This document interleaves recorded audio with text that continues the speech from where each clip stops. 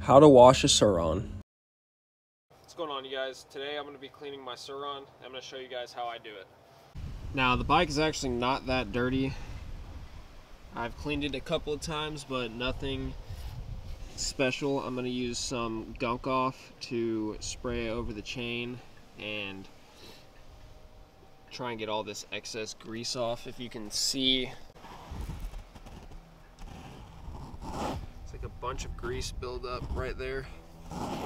But it's in there and it's on the chain too, so we're gonna be spraying some foam gunk off to clean up this bike.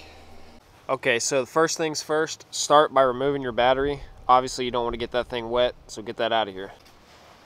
The next thing I like to do is tape off all the ports, anything electrical that is exposed that I run the risk of water getting into, I tape it off. And I'm just using some simple masking tape. Preferably any tape though that does not leave residue. So this will work just fine. Yeah, just throw some tape on it just like that on all your ports. Anything electrical, like I said, I'll even throw some in this USB port and close this back on top of it.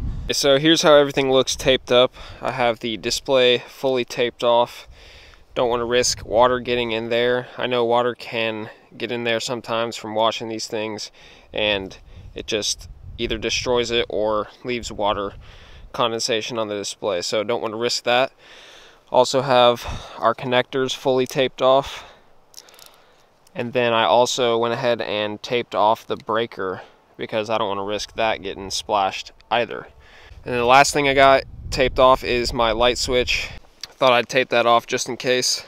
But now that everything is taped off, we can go ahead and start so spraying before I start spraying off the bike, I'm going to spray it down with some gunk engine cleaner, the foamy kind.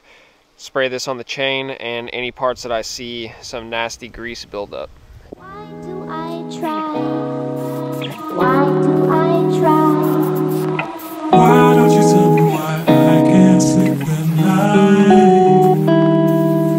Why do I try?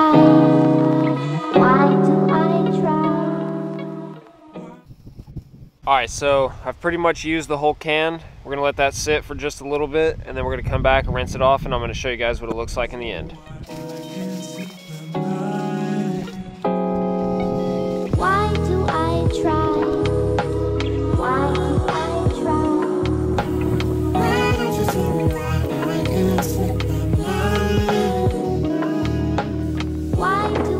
Now I just gotta dry it off. I pretty much just washed the drivetrain honestly. I didn't really touch the top half, but that's the only thing that was really dirty. Like I said, I've already washed this once or twice before, but I just used some degreaser on this one. So let's dry it off and see how it looks.